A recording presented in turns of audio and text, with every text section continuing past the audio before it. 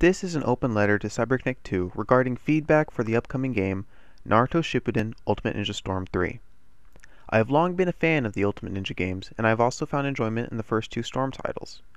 I could not find enjoyment in Generations due to the kind of play that the game allowed, encouraged, and or catered to.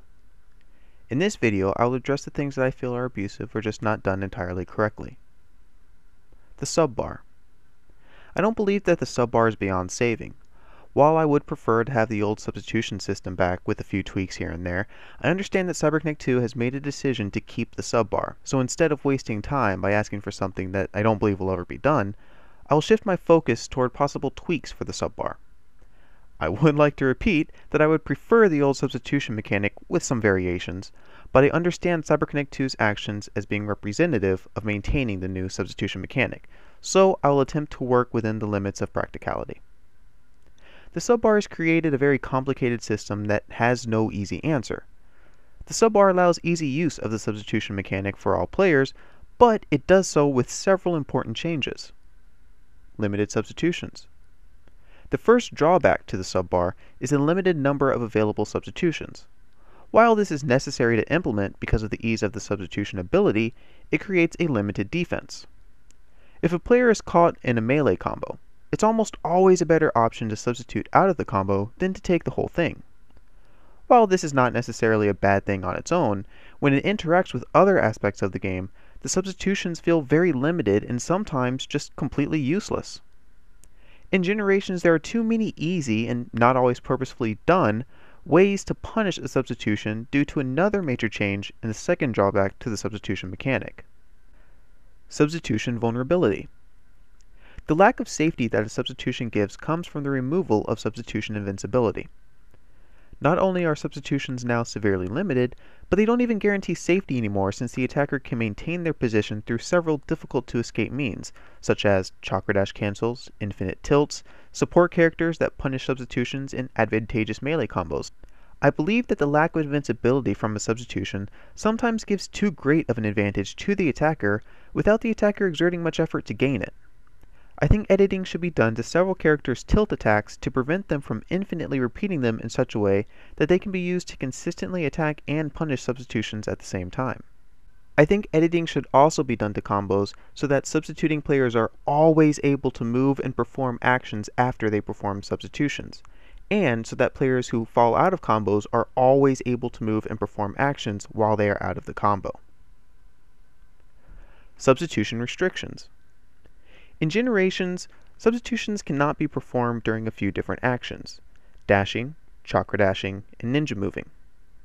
While ninja moving may be somewhat practical to restrict, and I can understand where the thought process was in restricting substitutions during chakra dashes, I don't think it's fair for dashes, which are already very limited in application, to be further weakened by removing the ability to substitute during them.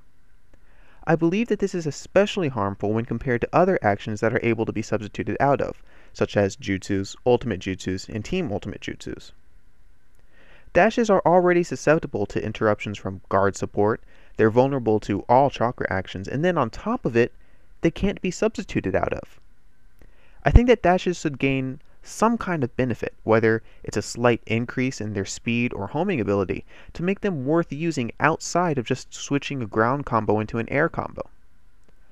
I also believe that jutsus, ultimate jutsus, and team ultimate jutsus should not always be able to be substituted out of. When a player uses a physical jutsu or ultimate jutsu, such as Rasengan or Chidori, they should be vulnerable from the beginning of the attack to the end of the attack if they never touch the opposing player, or a support character.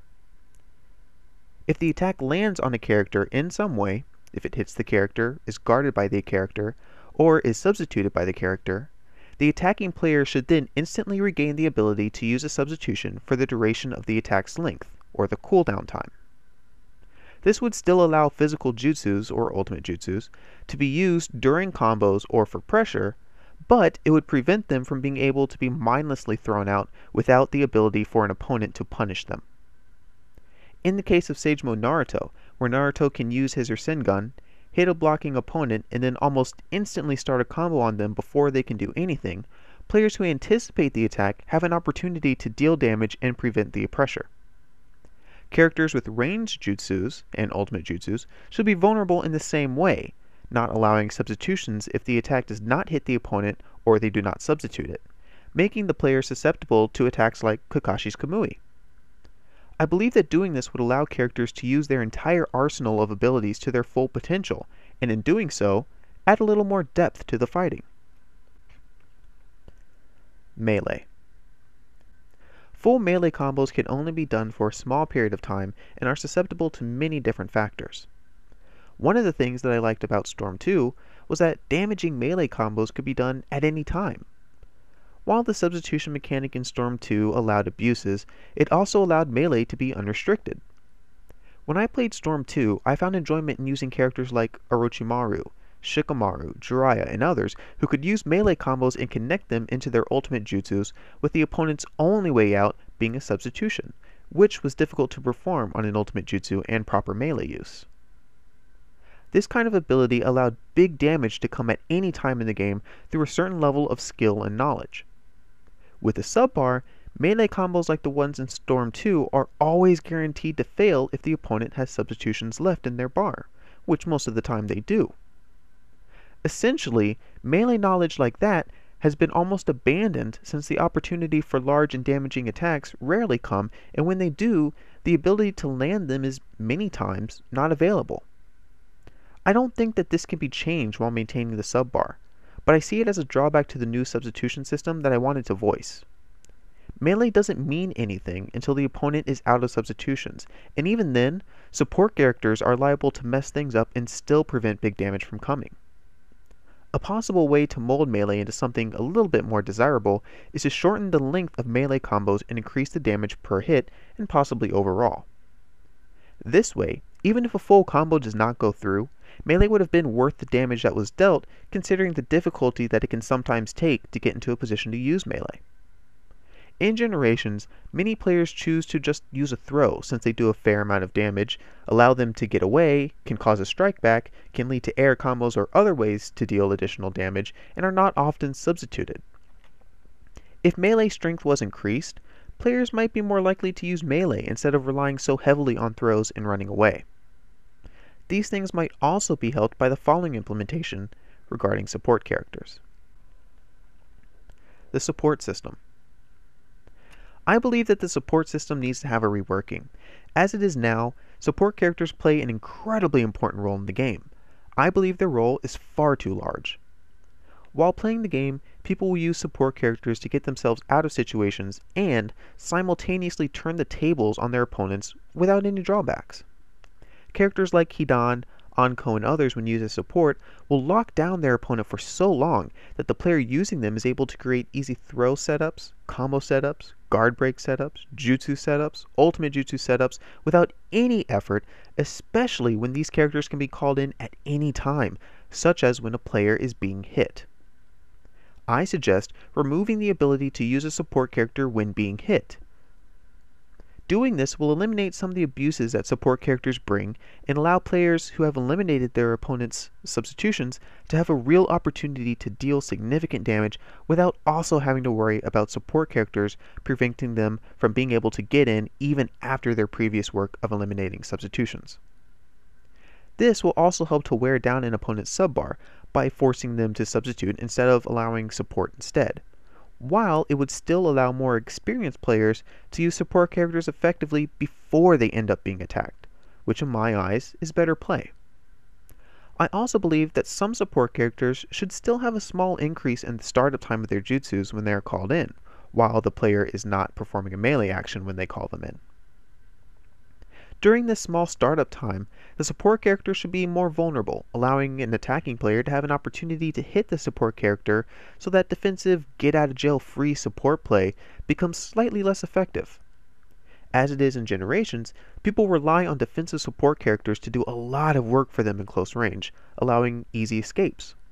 My goal is not to completely eliminate defensive uses of support characters, but to make them a bit more fair. Chakra dashing.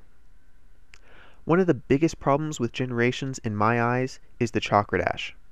In Generations, counterplay is still the main playstyle of the game. In Storm 2, counterplay would be done after a substitution with jutsus, throws, and ultimates by many players, but those things could be overcome because of the lenient substitution mechanic and through proper melee use. Playing Generations is different, but still reliant on countering. Now, instead of using substitution attacks, players use counter chakra dashes.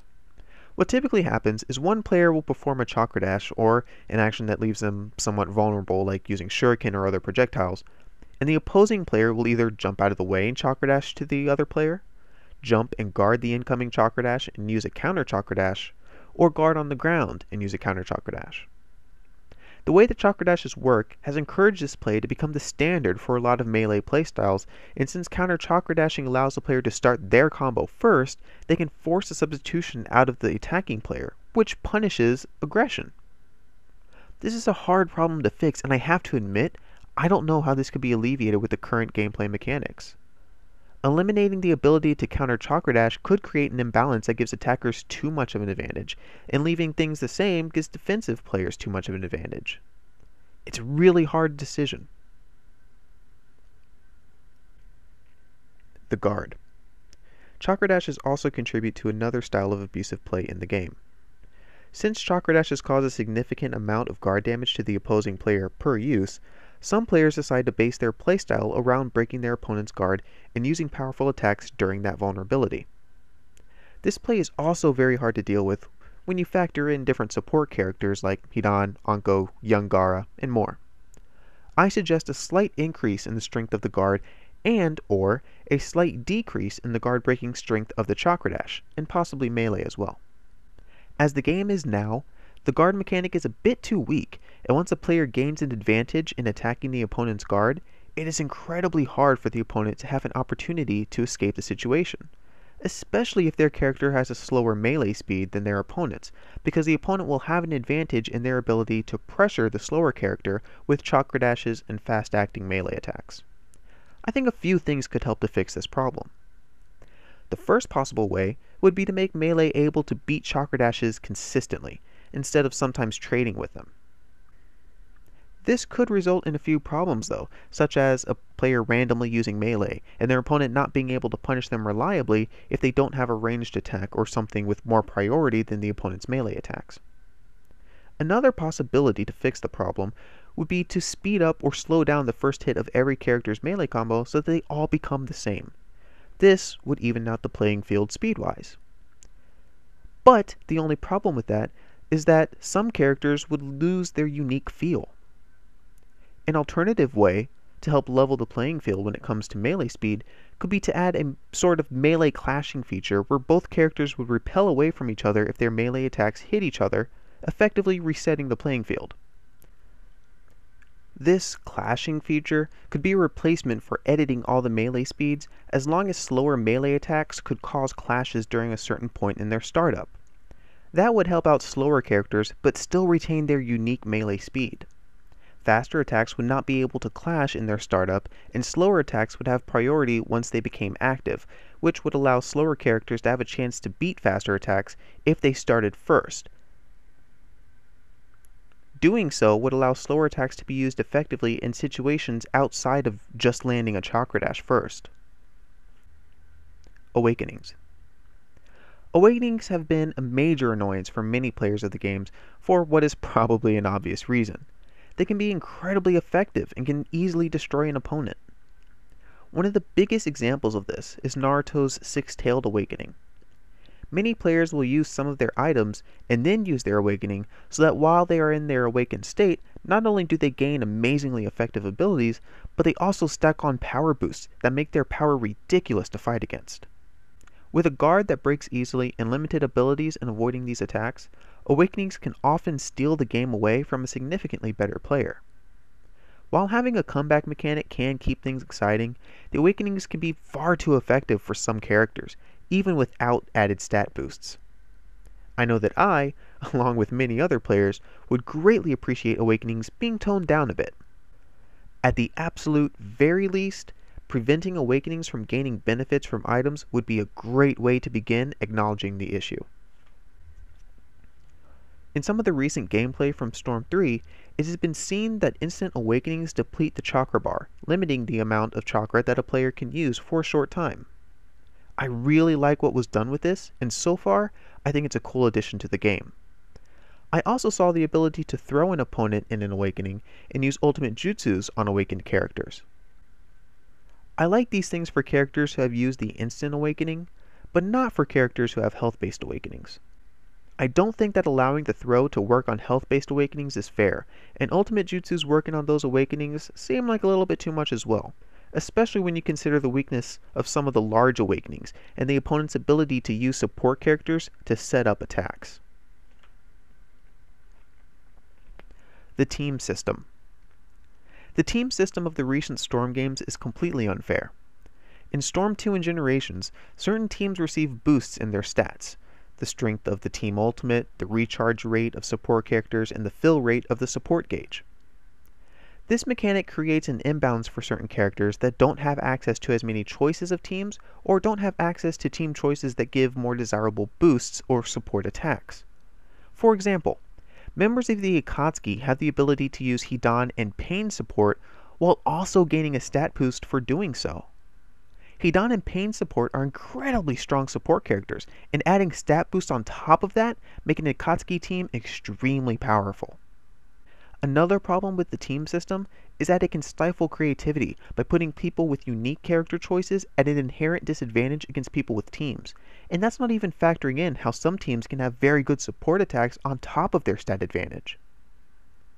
Another problem is that the teams do not always make a lot of sense compared to others, such as teams based off of physical traits or worn accessories. The selection of what teams make it doesn't seem to make a lot of sense either. For instance, why is there a team for ninjas who wear masks, but not a team for teachers who were killed during the series?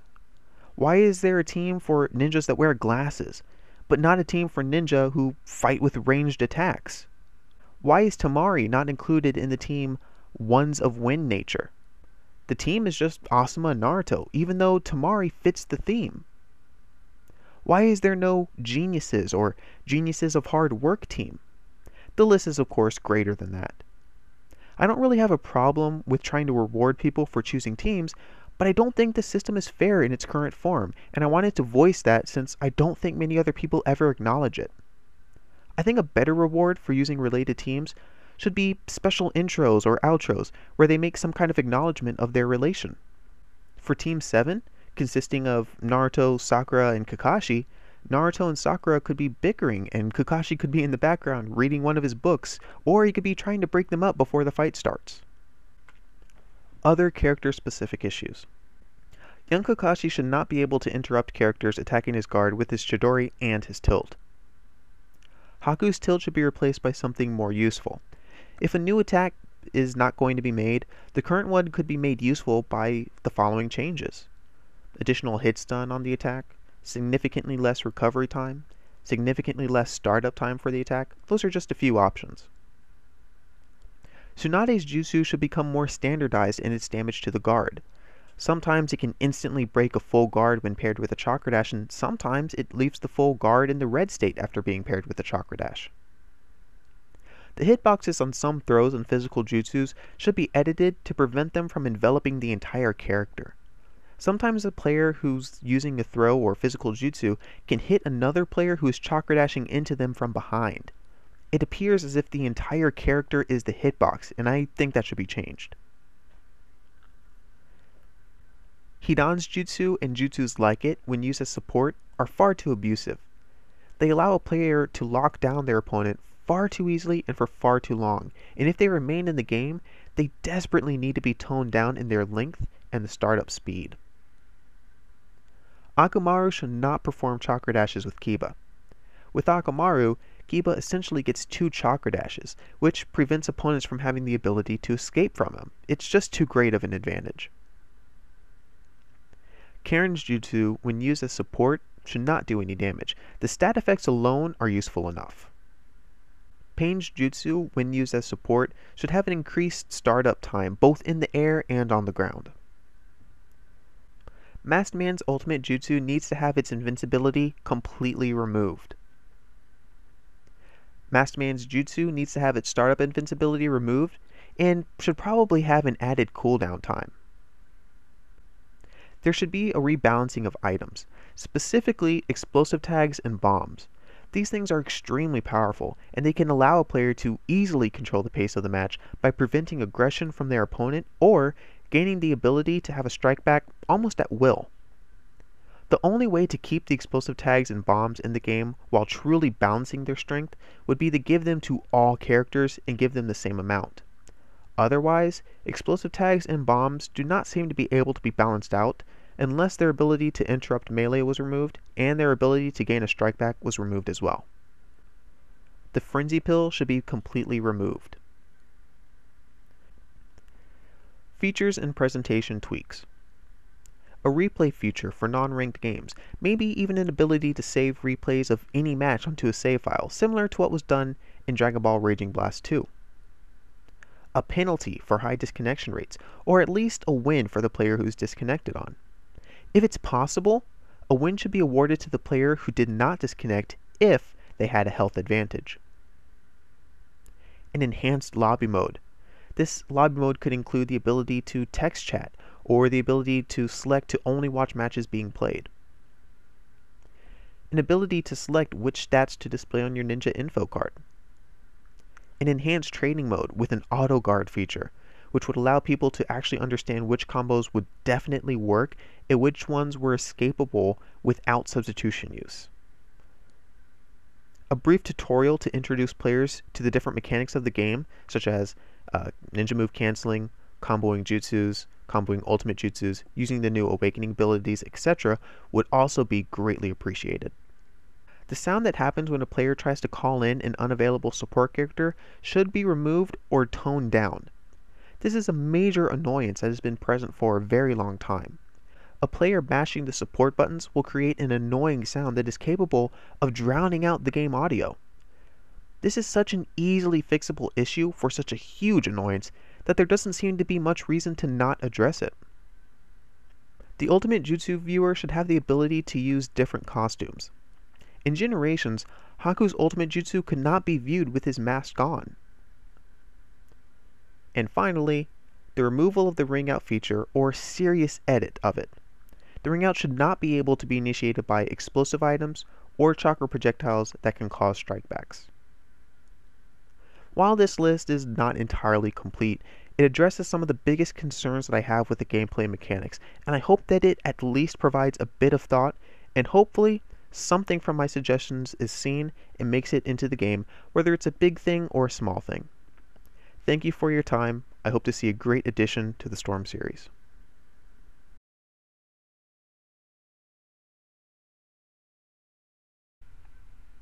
Hey everybody, this is B-Lit, and thank you for watching my open letter. If you would like to send your own suggestions to CyberConnect 2, in the description of this video, I will have the link to their suggestions page, their English one, and you can send your suggestions right there.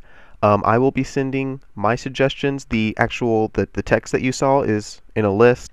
So I'm going to be sending a uh, text version of my suggestions, and I'm also going to be sending them this video on Twitter, uh, um, maybe they have a Facebook page. I'll, I'll see if they have a Facebook page, and I'll also put the URL to this video in the suggestions thing. So hopefully they see something of these suggestions, and I, I get I get to be sure that my message actually got to them. So that's the point of this video, and uh, yeah, if you guys would like to send your own suggestions, go to the description. You can see their Twitter, you can see their suggestions page, which is probably the best place to go. Um, if you want to send them this video as well, go right ahead. If, if you think that these are the things that you actually want, and you think that some of the things that I said in this video have merit, or some of the some of the suggestions that I'd offered had merit, then go ahead and send them this video so you agree with it. Um, I hope you guys enjoyed it. I hope you guys take the time out to send CyberConnect 2 your own suggestions because if you don't, then you have no right to complain when the game comes out and it's not what you want. So I will see you guys next time. Thanks for watching.